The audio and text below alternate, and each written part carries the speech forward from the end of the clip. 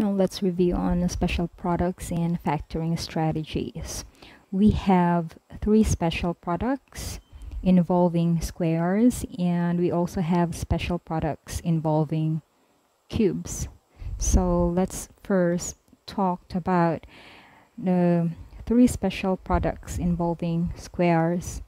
So we have difference of squares okay so we can write this as x squared minus y squared which is just equal to x minus y times x plus y. And then the next one is the square of sum.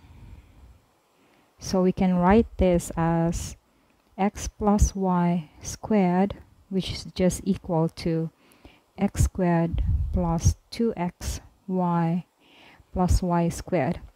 And then the third one is the square of difference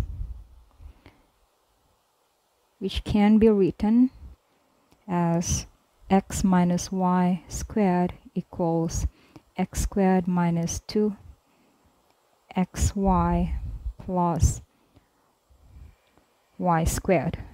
So now let's um, review on special products involving cubes. So we have x cubed minus y cubed is just equal to x minus y times x squared plus xy plus y squared.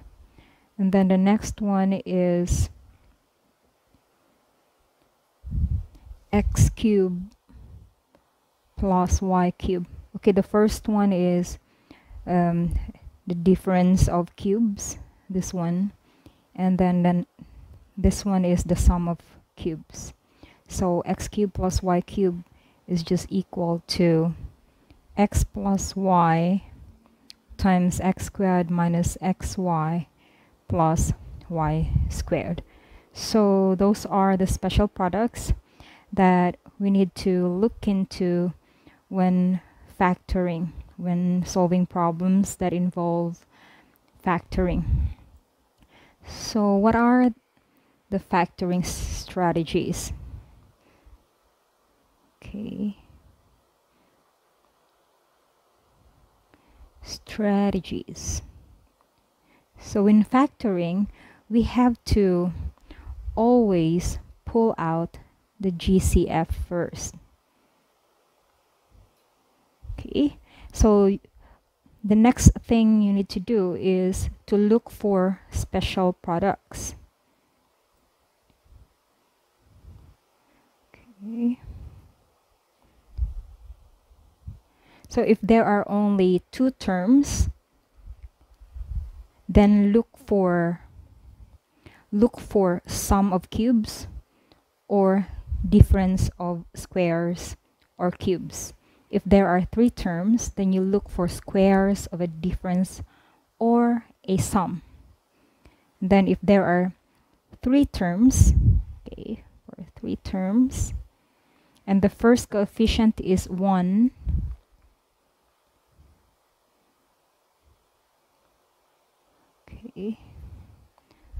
then use simple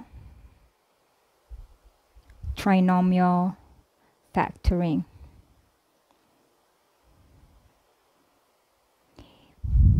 Then if there are three terms and the first coefficient is not equal to 1 so three terms.